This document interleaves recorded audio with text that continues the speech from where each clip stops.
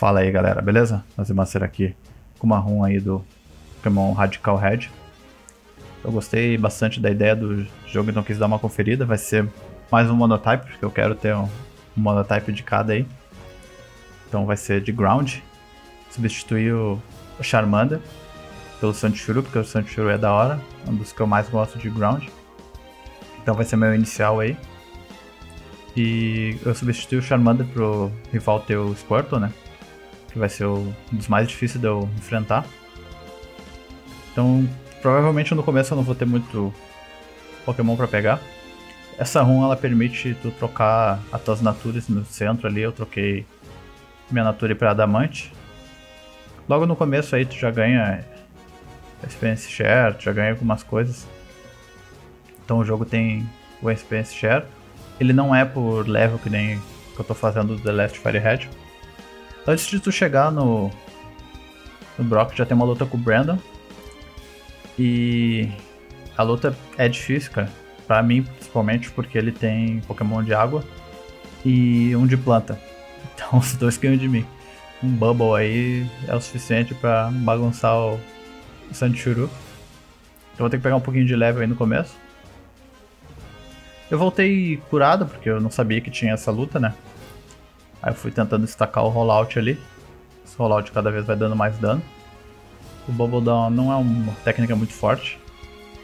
Então, desde que o rollout acerte, eu não tenho muito problema. Então, rollout pegando aí, deu uma critada. Não sei se teria precisado desse crítico aí, porque o rollout estacado dá muito dano. Acabou dando tudo certo. Eu perdi umas duas vezes pra ele. Ele que dá o Experience Share, né? Aí tem o Falconer que tu encontra ele no museu, na cidade. Eu não sabia que era ele, porque a sprite não dava pra ver, mas tu não é forçado a luta. Tu, ele pergunta se tu quer lutar, então tu pode voltar, né? E enfrentar ele quando tu quiser. Eu tava com uma Aramberry, deu uma curadinha ali, porque eu não, eu não vou usar item em batalha, como eu sempre faço, mas item que o Pokémon segura é, é permitido. Então, como é o Falconer, ele tem só os passarinhos ali, as pedradas no, no passarinho já acaba com eles, não tem chance. Olha o sprite dele, mano. Não tinha como saber que era, que era o Falconer isso aí, cara. Então. É sempre assim, cara. As sprites são meio zoadas na hora ali.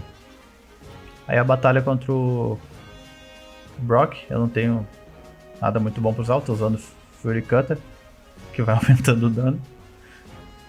Eu quis ver se eu conseguia já no level 13, pra passar no level mais baixo possível. Essa run ela restringe um pouco o teu level, tu não consegue pegar muito level, ela começa a diminuir a XP que tu ganha. Então é ruim de farmar. Mas agora eu aprendi magnitude. Então acabou pro Brock.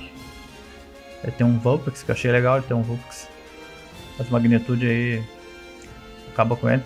Esse Vulpix aí é pra sacanear quem pega inicial de planta, provavelmente.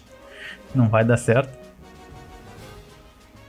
Aí o, Onix, ele tem uma speed boa, mas e defesa, mas não é um Pokémon muito bom, cara.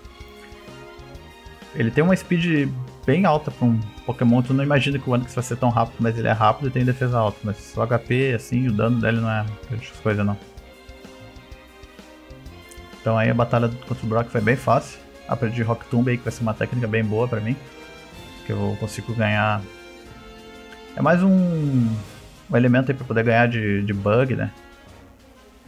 E voador. Não que ele vai ser um problema pra mim, mas eu não acerto o ground, né? Em voador, então é bom ter os rock ali. Aí trocando minha natura, eu capturei uma, uma Nidorina. Demorei pra conseguir achar um segundo Pokémon. Porque Pokémon de ground tu encontra em caverna, né? Tu não encontra em qualquer lugar. Então o jogo tem essas batalhas aí que é Acho que é do mesmo sistema do, do Sword and Shield. Que é como se fosse a. Não sei se é Raid, mas que tu enfrenta uns Dynamax aí, os Gigantamax.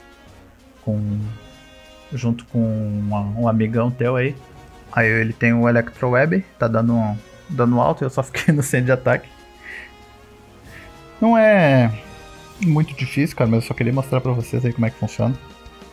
Ele deu um Max Geyser no, no Vivillon. Se ele tivesse dado meu Sandshrew, meu Sandshrew teria sumido. Mas aí só pra mostrar mesmo, porque Eu não vou usar a Dynamax, eu acho. Nem Mega, nem nada. Não, quando eu, a minha outra run, The Last Firehead, eu não usei. Eu pretendo dificultar ao máximo, né? Normalmente eu só uso o Z-Move, que eu acho legal o Z-Move. Uma coisa só. Mas aí o rollout começou a dar dano. E depois tu sempre consegue capturar, né? É 100% de chance de, de capturar depois que tu derrota ele.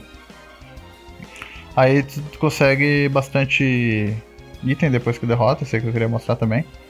Então aí tem a luta contra o administrador. O administrador está online contra o Asher. Apesar dele ter poison, cara, e o meu magnitude dá bastante dano nele. Eu consegui perder umas duas, três vezes pra ele, cara. Principalmente esse Mightian, né? Eu não sei que possível ele tem, porque não, não, não causou intimidate quando chegou, mas ele se bufa.